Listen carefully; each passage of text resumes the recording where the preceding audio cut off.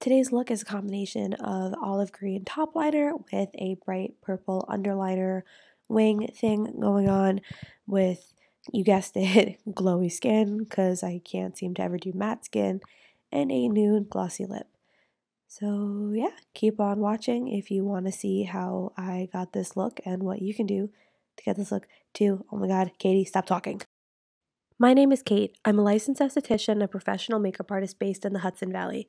I post makeup tutorials, model applications, kit tours, skincare tips, and more. Make sure to subscribe, and let's get on with the video.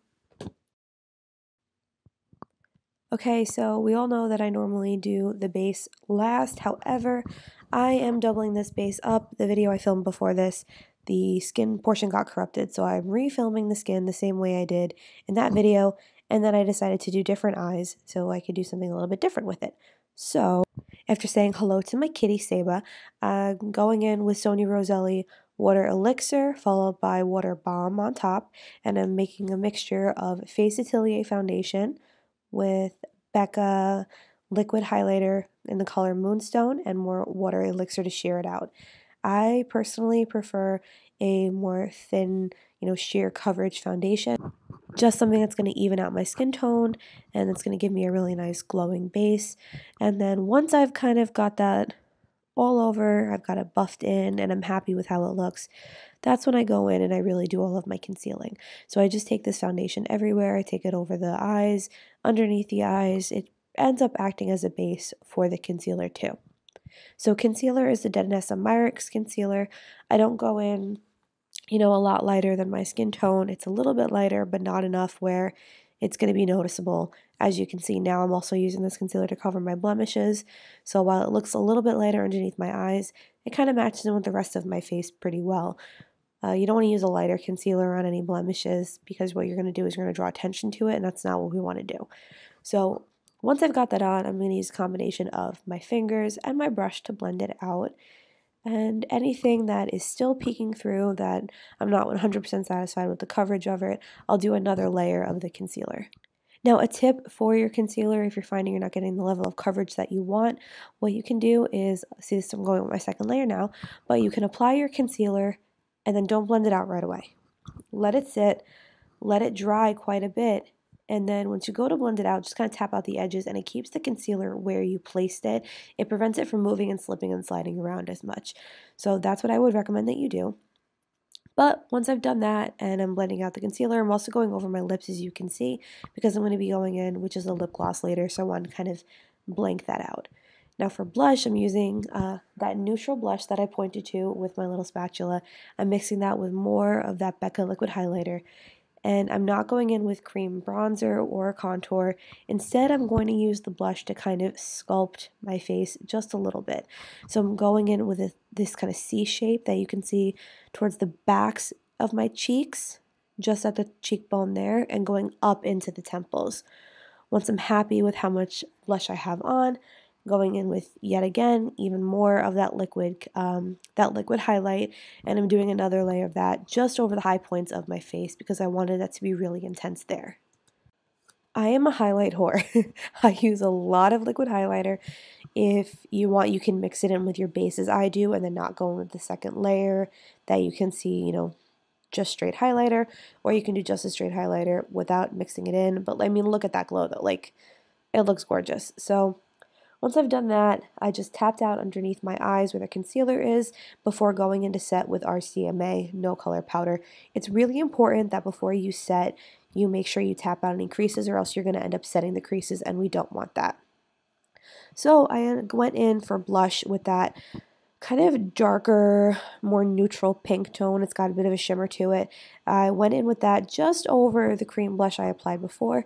And I also went in with that white gold looking highlighter. That's a Sephora brand highlighter that they don't make anymore. However, it is a dupe for NARS Albatross if you have that or have another dupe for it. I don't remember what those two products' names were. Unfortunately, I depotted them a while ago and I didn't keep a list. However, any kind of gold toned shimmery brown bronzer will work. So I went in with a little bit of that to add a bit of warmth before going in and doing my brows. Now, I normally do, if you watch my other videos, a much lighter it's still thick, but much more feathery looking brow. Um, however, the look I did before this, what I'm doing right now, I ended up doing a thicker brow. I wanted something a bit bolder. So because I was filming the lost footage, that's what I did. I recreated that look, and I thought it actually worked pretty well with what I did. Um, I like, I kind of ended up really liking the contrast between that bold, dark brow. I still kept it fluffy with the very light makeup that I had going on the rest of my face.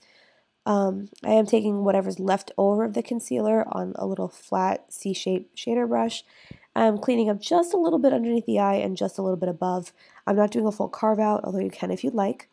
And I'm taking NYX the Control Freak Brow Gel and just setting my brows into place. I, I like that uh, feathery brow, so that's the shape that I'm making. And then that's that done. Again, this is really weird and all out of order, but I was filming, you know, refilming lost footage. So for lip gloss, I ended up going in with the Ulta. This was like their Harry Potter limited collection. It's in the color Hedwig. It's just a glossy clear gloss with gold uh, specks in it. It's very pretty. And then I set my face really dramatically. I always, I always, it always ends up a hot mess. But I set that with Blue Marble setting spray. That was my goodbye for the next one. But here I am coming back. I think I heard a kid crying, and I think that's why I stopped to do this. But frankly, I don't actually remember anymore. But I added more of that setting powder underneath my eyes to catch any potential fallout from the shadows that I'm going to go in with now. So this is the Viseart Dark Edits palette. I did have a clip of me showing the shadow, but I must have deleted it by accident. So I'll link it in the description box down below. But I'm going in with a kind of darker, you know, medium to dark neutral brown that's in the palette. And I'm using that to start with carving out, not like a full cut crease, but just kind of carving out that crease. As you can see, I've already got makeup on my lids just from the foundation and the highlighter that we did before, so I'm not doing that much different onto the lids. I do just want to go and add some depth into my crease because this is going to be a wing heavy look.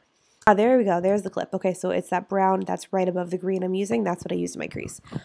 But anyway, so for the wing, I'm going in with that olive green shadow. I'm using just a small, dense pencil brush to apply that. I'm doing it quite thickly. Um, I really wanted that band of green to show. As you can see, I do kind of feather it out at the top a bit, and I'm connecting it, extending the wing out to connect with that crease color that I did. Once I've got that on both of my eyes, you're going to see me applying it on the second eye now. I'm also going to go in. It looks like it's black in the footage, but it's not. It's a deep, deep navy blue. And that's what I'm going to use on a very thin uh, liner brush to line and hug just up my lash line and follow the bottom of that green wing going up. So putting the green on. Ba, ba, ba. You can definitely do this look without adding that darker crease color. I just I wanted that balance though. I didn't want it to be like a wing only look. I wanted a little bit more smoke. I wanted a little bit more to it structurally than just the wing. But you can skip that if you don't want it to be as dramatic. But yeah, if you see that color, it looks black, but to me, it, it it's really not. I wish I could remember what I was saying here. I don't remember what I was saying here. But yeah. So just go in, line your lash line, keep it close, and then follow the green in the wing shape out. It's also a good time you can kind of use it to also correct if it's not perfect on the bottom too. You can kind of sharpen it up a little bit, especially because you're going in with that pointier brush.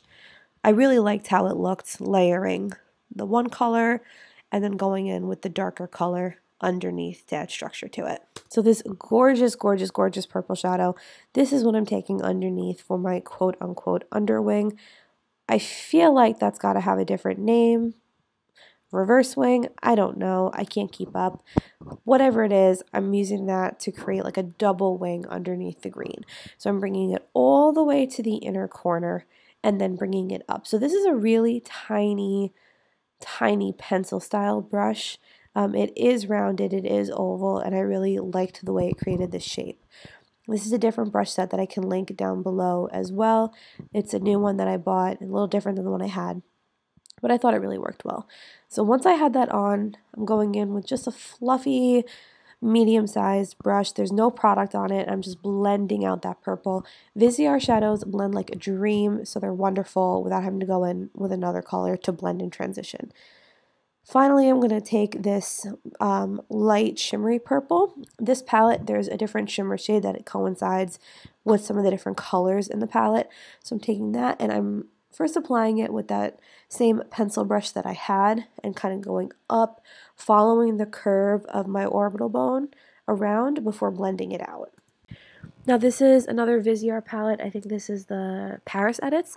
You don't need to use this one though. Any uh, light colored shadow will do, but this is like a light white shimmery shadow that has a bit of a gold reflect in it.